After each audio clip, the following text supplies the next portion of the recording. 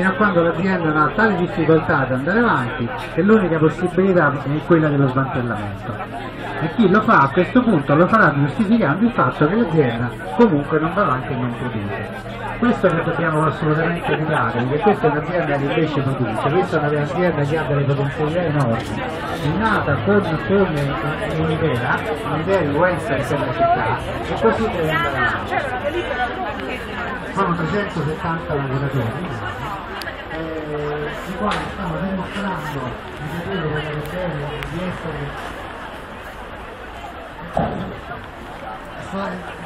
i quali eh, hanno dimostrato di poter essere produttivi e di sapere operare bene, sono eh, lavoratori altamente qualificati e specializzati, eh, una entità quasi